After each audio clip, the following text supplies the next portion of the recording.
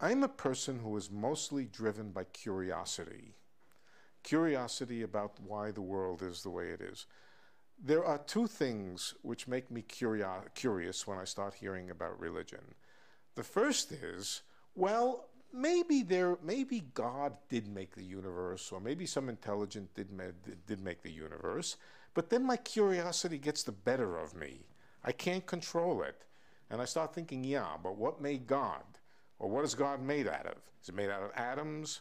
Uh, is he made out of molecules? How many dimensions does God move around in?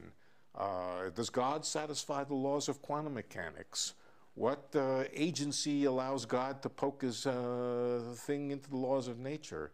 And by the time I'm finished, I come to the conclusion that the number of questions, the number of curiosity uh, demanding questions that the hypothesis of God raises is more than the number of questions that it answers.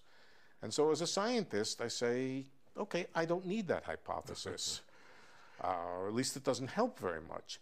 The other element of curiosity that always, I am always provoked, always is provoked within me by religion is an entirely different question. Not how the universe formed and so forth, but why it is that human beings have such a strong need for the irrational, a strong need for faith based irrational beliefs.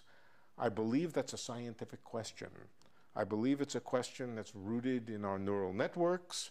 I believe it's a question that's rooted in Darwinian evolution, and I am fascinated by it and extremely curious about it. Those, I, we could talk about why, but uh, that is my own